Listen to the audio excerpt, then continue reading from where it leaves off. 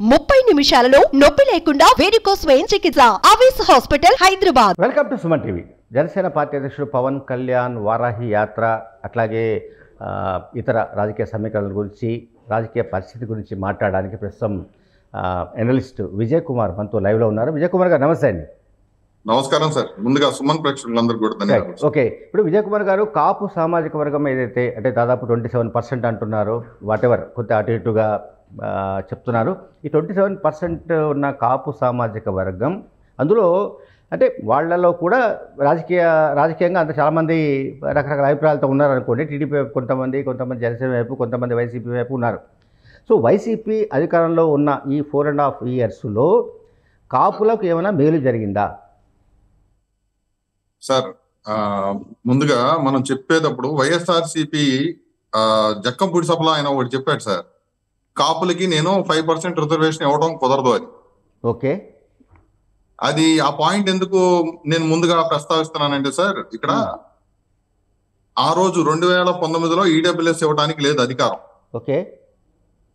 కానీ ఆ తర్వాత రెండు వేల ఇరవై రెండులో Janhit Janhit Abhiyan versus union government of India కేసులో ఐదుగురు సుప్రీంకోర్టు జడ్జెస్ కూర్చొని త్రీ ఇస్ టు టూ రేషియోలో ఇది రాష్ట్ర పరిధిలోది.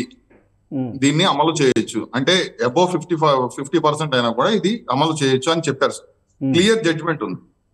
అయితే వైఎస్ఆర్ సిపి ఆ రోజు కుదరదు నాకు కాపులంటే అభిమానం అని చెప్పి ఈ రోజు రెండు వేల ఇరవై రెండు ఇవ్వటానికి నుండి కూడా ఆయన ఇవ్వలేదు సార్.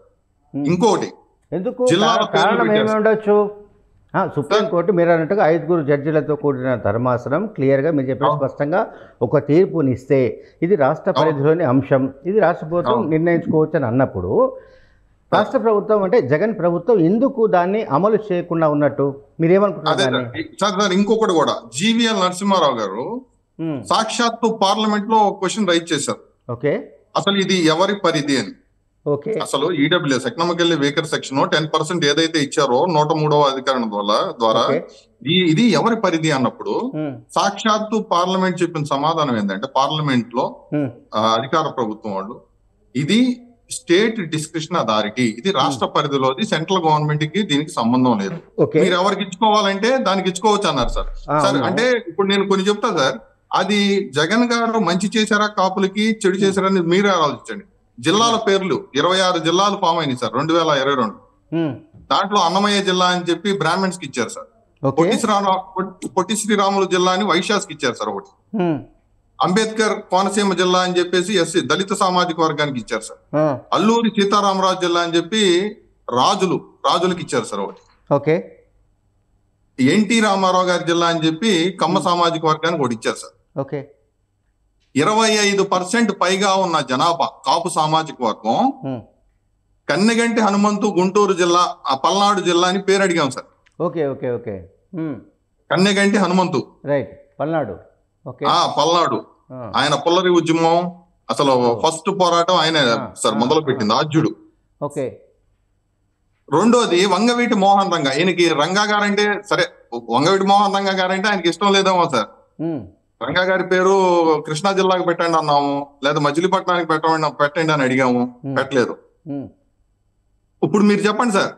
కాపుల మీద అంటే ఇప్పుడు కాపులకు రిజర్వేషన్స్ ఐదు పర్సెంట్ అమలు చేయకపోవడం వల్ల వైసీపీకి నష్టం జరుగుతుందా అనేది ఒక ప్రశ్న అండి. రెండోది మీరు కోరుతున్నట్టుగా మీరు కాంక్షించినట్టుగా కాపులకు సంబంధించిన నాయకులు కన్నగంటి హనుమంత్ కానీ వంగవెట్టి రంగా కానీ వాళ్ళిద్దరి పేర్ల మీద ఏ జిల్లాను కూడా ఏర్పాటు చేయలేదు. సో సార్, ఇక్కడ ఇంకోటి సార్ ఇంకోటి సార్. నామినేటెడ్ పోస్టులు. సార్ సార్ ఇంకో చిన్నది సార్ చిన్నది మాట్లాడండి సార్ ఒక్క నిమిషం. నామినేటెడ్ పోస్టుల్లో సార్ నామినేటెడ్ పోస్టులు తొమ్మిది వందల పదవులు ఉంటే ఏడు వందల పదవులు. అంటే ఆరు ఆరు పర్సెంట్ సామాజిక వర్గం ఉన్న రెడ్డి సామాజిక వర్గానికి ఉమ్, డెబ్బై పర్సెంట్ పైగా పోస్టులు ఇచ్చారు. ఏది నామినేటెడ్ పదవుల్లో. BC vice chancellors. ఉమ్, నాగా యూనివర్సిటీస్ వైస్ ఛాన్సలర్స్లో ఉమ్, మీరు గనక మనం చూస్తే ఈ రోజు Andhra university Prasad Reddy sir SV university Rajareddy SK university Ramakrishnareddy Andhra Kesari university Anjireddy. Okay.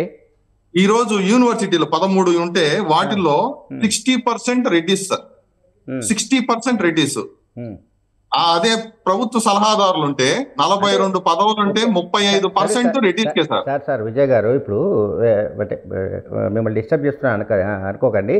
నేనేమంటున్నానంటే ఇప్పుడు రెడ్డి సామాజిక వర్గానికి ఆయన అన్నిట్లో నామినేటెడ్ పదవుల్లో కావచ్చు ఇతర పదవుల్లో కావచ్చు ప్రాధాన్యం ఇస్తూ వస్తున్నాడు. పెట్టేశారు కాపులను పూర్తిగా నిర్లక్ష్యం చేస్తున్నాడు అంటున్నారు. కాపులే కాదు సార్. దళితుల్ని ఎస్సీలను ఎస్టీలను. ఈసీలను గాని అందరినీ. అందరినీ ఎలక్షన్ చేస్తున్నాడు. అయితే. ఇప్పుడు ఏంటంటే ఇప్పుడు రాబోయే ఎలక్షన్స్లో దీని ఇంపాక్ట్ ఎంత ఉంటుంది? ఇది మేధో చర్చగా బాగుంది. అంటే డిస్కషన్ సేక్ బాగానే ఉంది. కాపులకు ఫైవ్ పర్సెంట్ రిజర్వేషన్ సుప్రీంకోర్టు చెప్పింది అయినా జగన్ అమలు చేయలేదు. లేకుంటే. జిల్లాల పేర్లలో ఒక్కటి కూడా కాపు నాయకుల పేర్లు లేవు అనేది ఇది ఇది బాగానే ఉంటుంది సార్. అంటే టీవీ ఛానల్స్లో డిబేట్కు పనికొచ్చే అంశంగా ఉంది తప్ప ప్రజల్లో ఇది ఇది ఇది ఏమైనా పనిచేసే అవకాశం ఉందా అసలు? అంటే తమకు అన్యాయం జరిగిందని తమను నిర్లక్ష్యం చేశాడని. జగన్ పట్ల ఈ వర్గాలు వ్యతిరేకతను పెంచుకునే ఛాన్సెస్ ఉన్నాయా అడుగుతున్నాను. సార్ డెఫినెట్గా సార్. సార్ డెఫినెట్గా ఎందుకంటే మొన్నటిదాకా ఏ నాయకుడు కూడా ఎన్ని క్వశ్చన్ చేయలేదు సార్. ఓకే. ఏ ప్రతిపక్షం కూడా కాపుల్ని ఒక ఓట్ బ్యాంక్ లాగా యూజ్ చేసుకునేవి వాళ్ళని వీళ్ళేం చేయలేదని చెప్పి కానీ పవన్ కళ్యాణ్ గారు వచ్చిన తర్వాత ప్రతిదీ క్వశ్చన్ చేస్తున్నాడు సార్. ప్రతిదీ అందరికి సమాజంలోకి తీసుకెళ్తున్నారు. ప్రతిదీ. ఓకే. అది ఆయన ఆయన క్లియర్గా అడుగుతున్నాడు సార్. కాపులకి ఇన్ని వేల కోట్లు ఇస్తానన్నావు ఏమి ఇచ్చావు? ఓకే. ఏది? అమ్మఒడి పథకం అందరికి ఇస్తున్నాయి కదా సార్. కాపు కార్పొరేషన్ ఫామ్ చేశారు. గతంలో టీడీపీ ప్రభుత్వం నాలుగు వందల యాభై మందిని సంవత్సరానికి పంపిస్తా ఉంటే ఈ రోజు వీళ్ళు నూట యాభై మందిని కూడా పంపించలేదు సార్. నూట యాభై మంది కూడా లేరు ఈ రోజు. వాళ్ళు వాహన మిత్ర అని చెప్పి కార్లు ఆటోలు అట్లా ప్రతిదీ ఇచ్చారు సార్. కుట్టు మిషన్లు గ్రూప్ వన్ ప్రిపేర్ అయ్యే వాళ్ళకి అన్లిమిటెడ్గా ఇచ్చారు సార్. ఆ రోజు. అంటే పవన్ కళ్యాణ్ గారు వాళ్ళకి సపోర్ట్ చేశారు అనే ఉద్దేశంతో రెండు వేల పద్నాలుగులో చేశారు సార్. ఇవి ఇప్పుడు ఏవైతే లబ్ధి పొందారో గతంలో ఏవైతే అనుభవాలు వీళ్ళకు ఉన్నాయో ఉమ్, కాపు సామాజిక వర్గం ఏదైతే ఈ కాపు కార్పొరేషన్ ఫామ్ అయిన తర్వాత పవన్ కళ్యాణ్ గారి పుణ్యం పుణ్యమా అని చెప్పి ఇవి ఏవైతే ఇప్పుడు వీళ్ళు పొందలేకపోతున్నారు సార్ వైఎస్ఆర్సీపీ వచ్చిన తర్వాత అవి ఏమీ లేవు సార్ అమల్లో. గతం ఆబ్వియస్గా వీళ్ళందరూ కూడా ఆలోచిస్తారు కదా సార్ జగన్ గారు మేలు చేస్తున్నారో లేదా కీడు చేస్తున్నారో మనకి? ఓటేసేటప్పుడు ప్రతి ఒక్కళ్ళం కూడా ఆలోచిస్తాం కదా సార్. ఉమ్, అంటే ఓకే రైట్. ఓటు వేసేటప్పుడు ప్రతి ఒక్కరు ఆలోచిస్తాము. అయితే ఇక్కడ జగన్ అంటే వైసీపీ డిపెండ్ అనే డిపెండ్ అయినంత అయినంత కూడా కింది స్థాయిలో గ్రామ స్థాయిలో ఎవరైతే ఈ సంక్షేమ పథకాల లబ్ధిదారులు ఉంటారో వాళ్ళపైన. ఎక్కువగా డిపెండ్ అయ్యాడు. అది మీకు కూడా తెలుసు. అటువంటిప్పుడు అటువంటి సెక్షన్స్ అంటే డౌన్ ట్రాడన్ సెక్షన్స్ అట్లాగే వివిధ రూపాల్లో సంక్షేమ కార్యక్రమాల్ని పొందుతున్న వాళ్ళు వాళ్ళలో ఈ చర్చ ఉంటుందా? ఎలక్షన్లలో వాళ్ళు వైసీపీకి ఎగెనిస్ట్గా పోల్ చేసే ఛాన్స్ ఉంటుందా? సార్ ఇప్పుడు గతంలో ఆటో డ్రైవర్లు వాహన మిత్ర అని చెప్పి ఆటోలు ఇచ్చారు సార్. వాళ్ళంతా డౌన్ రోడేనే కదా సార్? ఓకే. గ్రామ స్థాయిలో వాళ్ళేగా ఆ కార్లు కొనిచ్చారు వాహన మిత్ర అని చెప్పి. వాళ్ళందరూ డౌన్ రోడేనేగా ఎవరైతే ఉన్నారో విదేశీ విద్యా దీవెన అని చెప్పి పిల్లలు గ్రామ స్థాయిలో పిల్లలు ఎవరైతే ఆర్థికంగా వెనకబడి ఉన్నారో వాళ్ళందరినీ కూడా ఫారెన్ పంపించారు. నాలుగు వందల యాభై మందిని ప్రతి సంవత్సరం పంపించేవాళ్ళు లబ్ధిదారులు. వాళ్ళందరూ కూడా కింద స్థాయి వాళ్ళే కదా సార్. వీళ్ళందరూ కూడా బాగా డబ్బులు ఉన్నవాళ్ళు కాదు. అందరూ కూడా కింద స్థాయి కాపు తెలగ బలిజ ఒంటరి తూర్పు కాపు కుటుంబాలు కుటుంబాలకు. చెందినవాడు అయితే విజయ్ గారు వాళ్ళందరూ కూడా ఈ రోజు ఆ. లబ్ధి లేనప్పుడు వాళ్ళు ఆలోచిస్తారు కదా సార్ ఇతను. జగన్మోహన్ రెడ్డి గారు వచ్చిన తర్వాత మనకి ఏమి ఓకే ఏం జరుగుతుంది? విజయ్ గారు మీరు చెప్పినంత కూడా నిజమే అనుకుందాం అయితే. ఈ సెక్షన్స్ ఏవైతే ఉన్నాయో కాపులు లేదా నాన్ కాపుస్ దళితులు ఎస్సీలు ఎస్టీ మైనార్టీస్ వగైరా వాట్ ఎవర్ సెక్షన్స్ ఏవైతే ఉన్నాయో ఈ సెక్షన్స్ సంబంధించిన ఓటర్స్ అంతా కూడా ఇప్పుడు పవన్ కళ్యాణ్ వెంట ర్యాలీ కావడానికి సిద్ధంగా ఉన్నారా? ర్యాలీ అవుతారా? పవన్ కళ్యాణ్ ఏ మేరకు పెర్ఫామ్ చేస్తాడు? సార్ పవన్ కళ్యాణ్ గారికి ఈ రోజు కాపు తెలగ బలిజ కాకుండా. బీసీలు అవ్వచ్చు ఎస్సీలు అవ్వచ్చు ఎస్టీలు అవ్వచ్చు అందరూ కూడా ఈ రోజు. సార్ ఈ రోజు కాపులనే కాదు సార్. ఆయన లేవనెత్తిన ప్రాబ్లమ్స్ ప్రతి ఒక్కళ్ళది లేవనెత్తుతున్నారు. నానక్రామ్ కూడాలో ఈ ఇన్ఫర్మేషన్ డేటా అంతా ఎందుకుంది? అట్లాగే ఈ రోజు ఈ లక్ష కోట్ల రూపాయలు ఏదైతే ఉందో. కంట్రోలర్ ఆడిటర్ జనరల్ అడిగింది. ఈ. ఇన్ఫర్మేషన్ ఏంది? అట్లా బడుగు బలహీన వర్గాలకు చెందిన ప్రతి ఒక్కళ్ళది సార్ ఆయన. ఏది ఉద్దానం అవ్వచ్చు ప్రతి ఒక్కళ్ళ సమస్య ఆయన సమస్యలాగా ఆయన గళమెత్తి అడుగుతున్నారు సార్. ఇప్పుడు దాకా బహుజనుల్లో ఇటువంటి నాయకత్వం ఎవరిని చూడలేదు సార్. మన పవన్ కళ్యాణ్ గారు జనసేన అధినేత పవన్ కళ్యాణ్ గారు వచ్చిన తర్వాత ఏంటంటే ఇప్పుడు దాకా చూడని ఒక కొత్త నాయకత్వాన్ని బహుజనులకి ఈయన ఒక్కడే నాయకుడిలాగా చూస్తున్నారు సార్. ఎందుకంటే వాళ్ళు గలం గలం విప్పి అడగలేని ప్రతి క్వశ్చన్ అడుగుతున్నారు సార్ ఈ రోజు రోడ్లు రోడ్లు అవ్వచ్చు ఎస్సీలకు ఏం చేసావు. ఎస్టీలకు ఏం చేసావు బీసీలకు ఏం చేసావు మత్స్య కార్మికులకు ఏం చేసావు.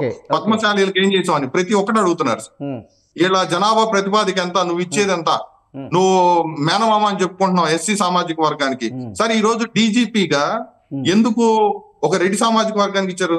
ఆయన సునీల్ కుమార్ గారికి ఎందుకు ఇవ్వలేదు సార్? ఈ రోజు అందరికీ అదే క్వశ్చన్. మా కాపే. కాపు సామాజిక వర్గానికి. చెందిన ఆయన కాదు. డీజీపీగా అన్ని అర్హతలు ఉన్నాయి. నీకోసం రఘురామ్ రెడ్డి గారిని. కూడా తీసుకొచ్చాడు. రఘురామ్ రెడ్డి రఘురామ్ రాజు గారిని. అంత. చేసిన వ్యక్తికి ఈ రోజు సునీల్ కుమార్ గారికి నువ్వు ఇచ్చింది ఏంది? నువ్వు దళితులకి మేనమామ అది ఇది అని చెప్పుకున్నావు కదా సార్. నీ కోసం కష్టపడిన వ్యక్తులకి నువ్వు డీజీపీ ఒక దళితుడికి ఓకే. ఈరోజు ఓకే. విజయ్ గారు. Okay okay okay. Thank you thank you very much Vijay గారు. మాతో చేరినందుకు అలాగే అలాగే కాపులు ఇతర సామాజిక వర్గాలు ఎటువైపు ర్యాలీ వెళ్తాయి ర్యా- ర్యాలీగా ర్యాలీ వెళ్ళే అవకాశం ఉందన్న దానికి సంబంధించి సమాచారం తెలియజేసినందుకు థ్యాంక్ యూ వెరీ మచ్